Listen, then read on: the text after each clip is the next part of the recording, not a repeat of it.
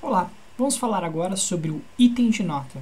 Imagine a seguinte situação: uma atividade que não tenha os parâmetros necessários para que você contabilize uma nota dentro do livro de notas. Ou então, uma atividade que foi desenvolvida em outra plataforma, foi desenvolvida de outra forma.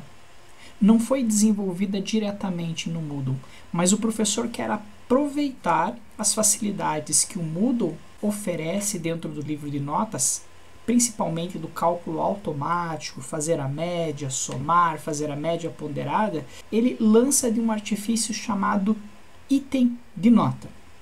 Vamos imaginar aqui na nossa disciplina fictícia que o professor ele quer dar nota para esta wiki, mas o wiki, como nós veremos nos vídeos que tratam desse assunto, ela não possui o parâmetro nota nas suas configurações. Vamos imaginar que também eu quero dar nota para uma apresentação dos meus alunos, que foi feita ou no Google Meet ou foi feita de forma presencial, mas eu quero lançar esta nota dentro do Moodle. Então vamos lá? Vou no meu livro de notas e olha que belezinha, meu livro de notas está uma maravilha, está muito bonito, calculando média. Então eu vou aproveitar dessa facilidade. Como é que eu faço então? Adicionar item de nota. Então, nesse caso, no primeiro momento, eu vou colocar a nota para a nossa wiki lá. Então, vou colocar aqui nome do item, nota da wiki. Aqui eu digo quanto é que vale, as minhas atividades estão valendo 50 pontos cada, então nota máxima 50 pontos. E ela vai entrar na categoria atividades.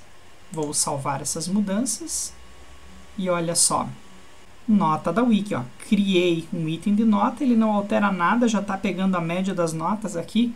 Maravilha. Agora eu quero colocar aqui mais um item de nota, chamado de apresentação de seminário, por exemplo. Venho aqui, adicionar item de nota e coloco aqui apresentação de seminário. Também, qual a minha nota máxima? Minhas atividades estão valendo 50 pontos. Incluo na categoria correta já aqui de atividades e salvo as mudanças. E aí o professor pode estar se perguntando, tá, mas o aluno não faz uma entrega, onde é que eu lanço essa nota? O professor vem em quadro de notas, e aqui no quadro de notas ele vai escolher atividade neste caso aqui, nota da wiki ou apresentação do seminário.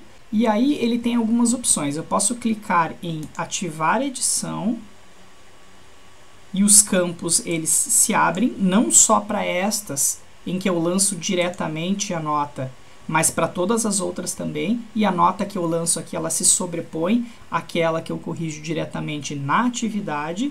Uma outra forma também do professor fazer o lançamento aqui é clicando aqui na visão única para a nota da Wiki. Aí o professor pode dar a nota e pode dar o feedback.